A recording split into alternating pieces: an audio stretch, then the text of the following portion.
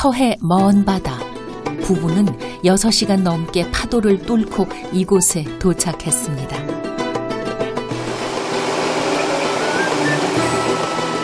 가을 꽃게가 우리 1년 농사예요. 이때 부지런히 해야 겨울에 좀 따뜻하지. 이 순간을 위해 1년을 기다렸습니다.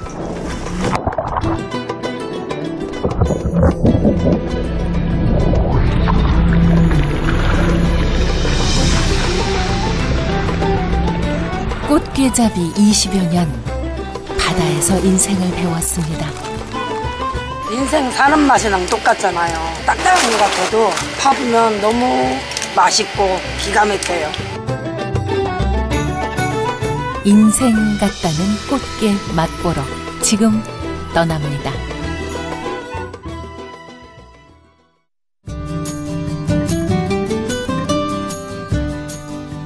경기도 화성 전곡항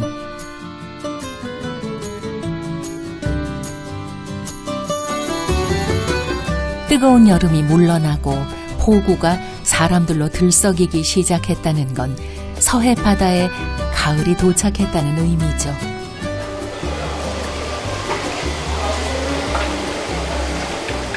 찬바람 나기 시작하면 대하며 꽃게며 가을 별미 찾는 사람들 발길이 끊이지 않습니다.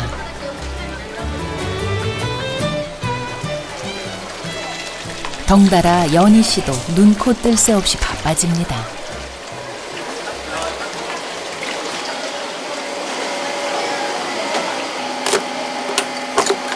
아이고 지금 시간은 한참 바쁜 시간이요. 아 요즘 이쪽에 꽃게 드시러 많이 오세요? 예, 꽃게 한 한철이에요 지금. 맛있을 때.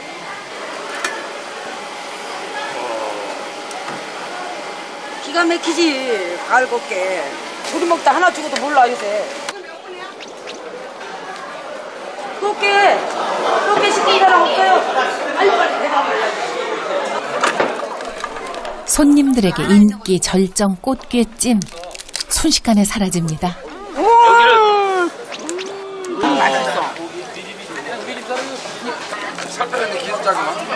누가?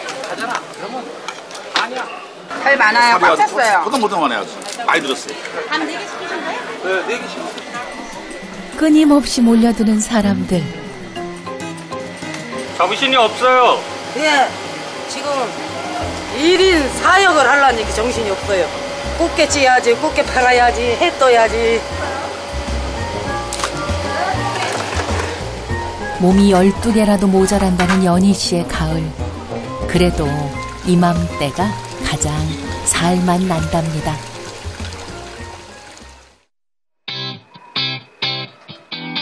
주말 장사 끝낸 다음 날 아침 남편과 함께 바다로 나갈 준비를 서두르는 연희 씨.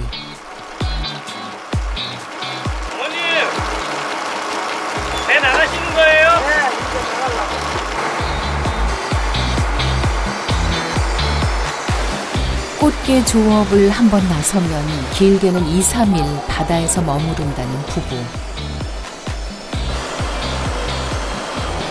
가을 꽃게철에는 육지보다 바다에서 지내는 시간이 더 많습니다. 아버지랑 이렇게 딱 붙어 계시네요. 예? 해야지. 안 그러면 안 돼. 왜요? 혼자 떨어져 있는 것보다 붙어 있는 게 더 좋지 뭐야. 좋아. 아 이렇게 붙어 있는 게 좋은 거예요? 아, 대체 얼마나 가야 하기에 연희 씨가 남편을 챙기는 걸까요? 그때 따라 이게 나가야만이 기름도 덜 돌고 빠르고 물 때요 아버지? 무슨 물때요?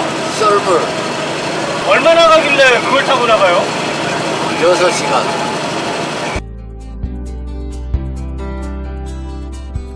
부부가 해마다 꽃게 조업에 나서는 곳은 서해의 머나먼 바다.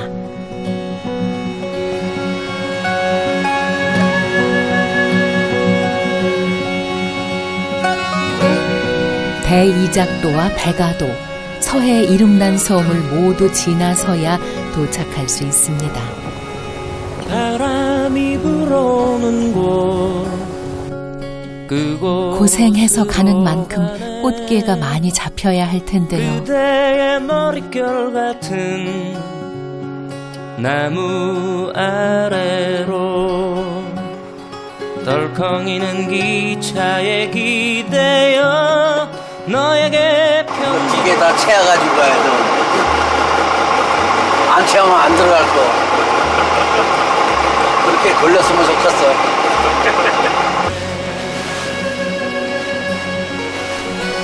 남편이 본격적인 조업을 시작하면 조타시를 지키는 건 아내 연희 씨의 목. 연희 씨도 배를 다루는 실력이 수준급입니다.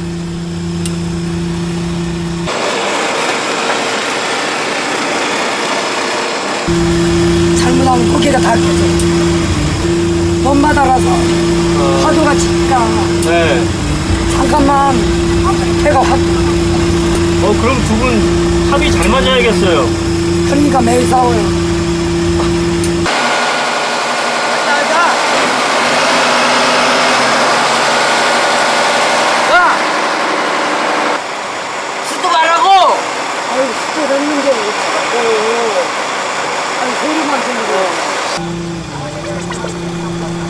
종종 다툰다지만 서운함은 어쩔 수 없습니다.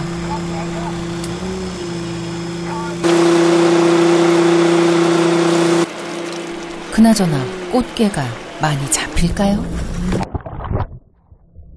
한 마리, 두 마리, 세 마리. 반가운 가을 꽃게들이 줄줄이 올라옵니다.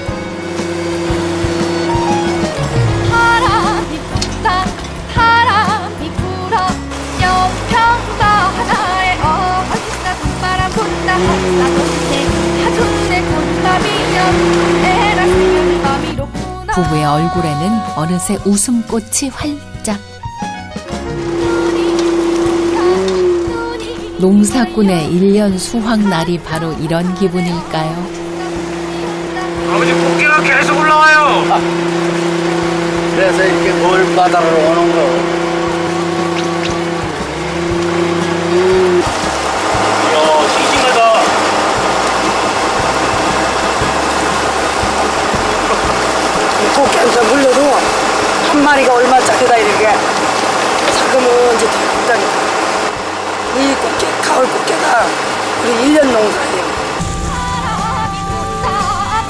찬바람 부을수록 속살이 가득 차오르는 가을 꽃게.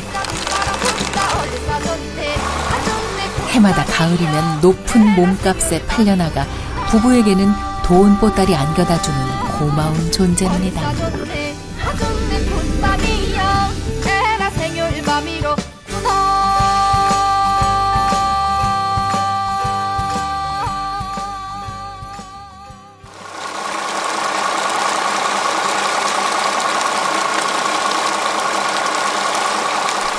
하늘 아래 둘뿐인 망망대해. 아직 그물 걷기 전의 일로 섭섭한데요. 아까 왜 그러신 거예요 아버지? 물발은 센데 네 자기는 서로가 다, 다큰 소리 치는 거예요. 부산 두 달아 태울 것 같아. 두 달하면 400kg야. 얘가 400kg. 뭔 사람이 어? 아버지가 제 잡은 거 거, 거짓말이에요? 맨날 뻥쳐 맨날 뻥쳐요? 어머니 왜 이렇게 목소리가 안 나오세요? 토요일 일요일 장사를 너무 많이 해가지고 힘들어서 그래 아 그리고 이틀. 아이고 피곤한가? 죽겠다. 내가 뭐 할 말이 없네. 미안하고. 고생만 시켜서. 나 만나기 전에 예 그냥 남편 사별하고 어린애들 진짜 키우느라고 고생 많아가지고 이제는 하여튼 우리 아저씨 만나가지고 마음은 편해야지 받아줘 내가 나오고 싶다는 거 아픔이 있던 두 사람 넉넉한 이 바다에서 서로의 아픔도 잊을 수 있었답니다.